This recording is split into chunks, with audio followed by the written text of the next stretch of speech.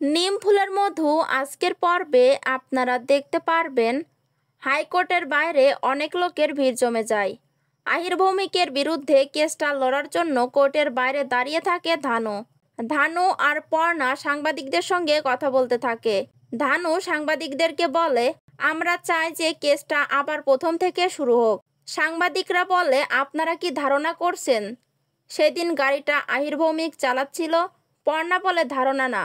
আমরা শিওর। তো বন্ধুরা কেমন লাগল আজকের আপডেটটি কমেন্টে জানিয়ে দেবে।